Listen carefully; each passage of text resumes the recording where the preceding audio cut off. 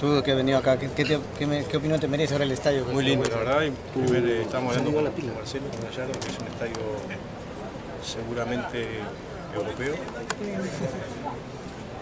Pero al mismo tiempo, viendo los problemas que tienen los equipos, creo que, que hay que solucionar primero los- el problema económico de los equipos y después eh, buscar mejorar en otras cosas, que en Uruguay pasa lo mismo también. En Uruguay hay muchos equipos con problemas. Eh, y bueno, yo creo que igual el fútbol no, no se termina, ¿no? porque es imposible que equipos grandes como, como los de acá eh, dejen de jugar por, por el tema económico, siempre hay alguien que ayuda.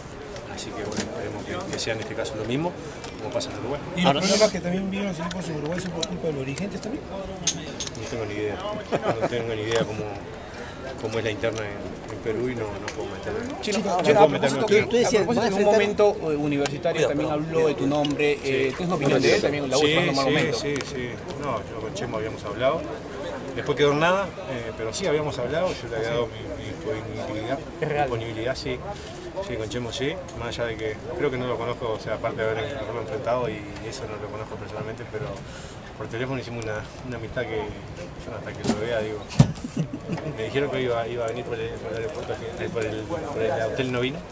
Pero sí, era, era real, era real. Después no quedó nada, eh, pero bueno, sobre todo por el- siempre digo lo mismo, es Perú es uno de los países que siempre que uno vino con la selección, en lo personal, me ha tratado siempre bien y tengo lindos recuerdos seguramente.